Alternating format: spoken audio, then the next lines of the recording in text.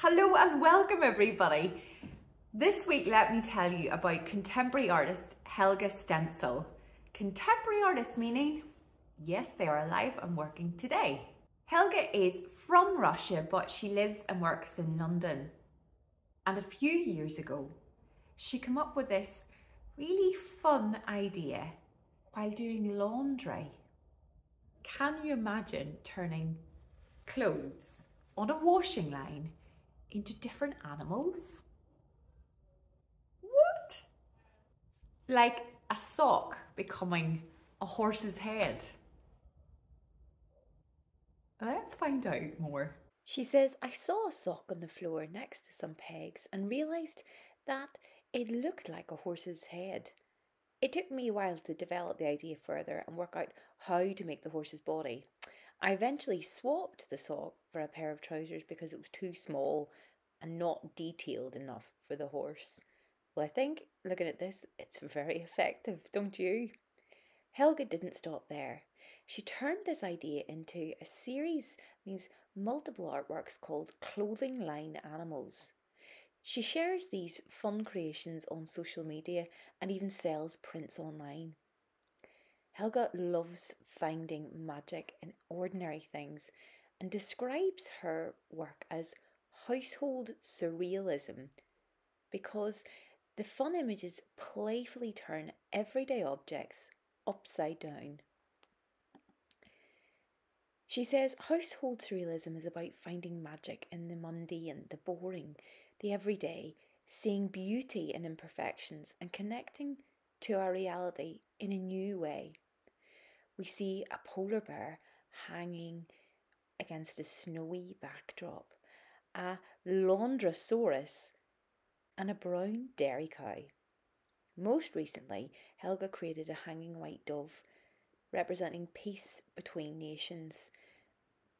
It's been sold as a print, with all the monies being donated to charities working in Ukraine right now.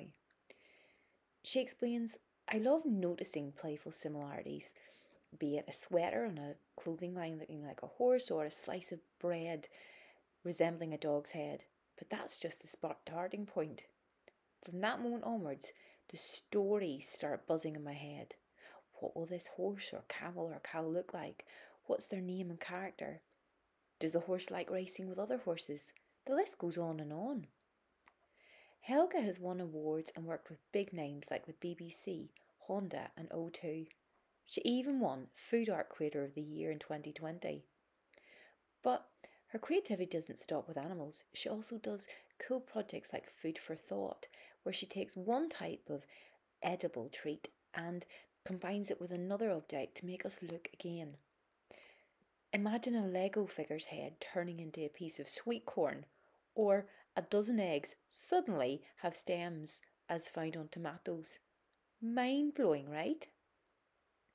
In other artworks, Helga has placed clothing lines below windows on buildings to create brick walled characters that sleepily smile and a laundry basket with two hanging socks in front of two washing machines to create a goofy happy face.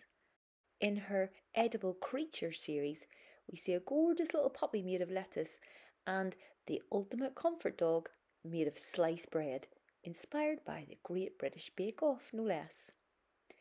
As for the process, Helga likes to keep her edits to a minimum and spend time making quality props.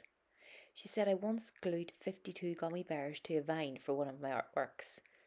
About a year ago, I also hand painted an embroidered hat for a polar bear in another piece, which was made in Russia at minus 32 degrees. That's freezing!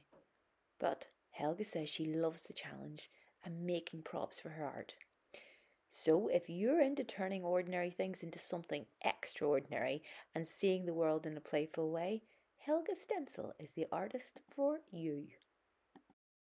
My playful challenge for you this week is to either work with draping and folding and arranging different items of clothing, either on a, on a string, on a line, tied up in your house or on a balcony or outside to try and create or recreate an animal you're interested in. or to use with adult permission, of course, foodstuffs, maybe um, food that's going off, maybe some stale bread, food that your um, parents or carers are looking to get rid of to clear space in the cupboards, tins, cheeses, fruits, vegetables, and arranging them in interesting ways to make something else, as you saw Helga Stentzel has done. It could be you take your favourite sweet treats, like she did with her gummy bears, and arrange them to make them look like something much, much healthier, like a bunch of grapes. It is completely up to you. Be inspired, thinking about everyday things in different ways. I look forward to seeing what wacky creations you come up with as ever. Until next week, good luck artists!